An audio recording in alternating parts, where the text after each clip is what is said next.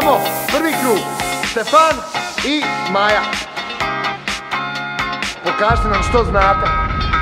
Ma slušaj baby, ovo nije prolazno Ti si ko grip, a ja osjećam se bolesno I što da radim bez tebe mi dosadno Dođi bliže, da se igramo Ma slušaj mali, ovo nije normalno Stalno me gnjaviš ko alergija si postao Al nisi zao i ponekad si smiješno glup Možda ti trud ne bude uzalud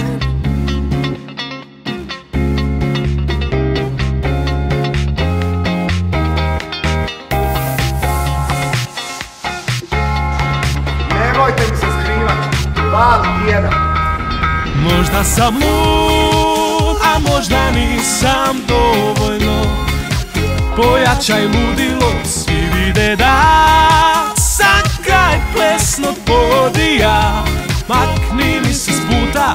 Što ti misliš mali, dečko sa sela? Da je ovo plesanje, ajme beda Imaš lijepo lice, a možda i talenta Al za plesti je desna noga ljeva Sad vidim, jasno je ko dan. Ti mene skidaš pogledom.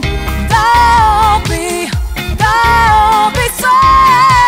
Samo da plešem s tobom.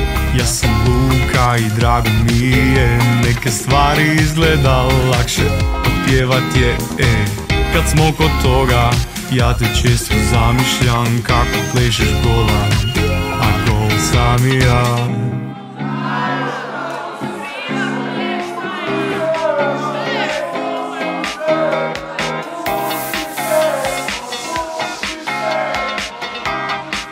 I za kraj. Svi skupa. Ma slušaj baby, ovo nije prolazno Ti si ko grip, a ja osjećam se bolesno I što da radim, bez tebe mi dosadno Dođi bliže, se igramo Ma slušaj mali, ovo nije normalno Stalno me gnjaviš ko alergija si postao. Al nisi zao i ponekad si smiješno glup Možda ti trud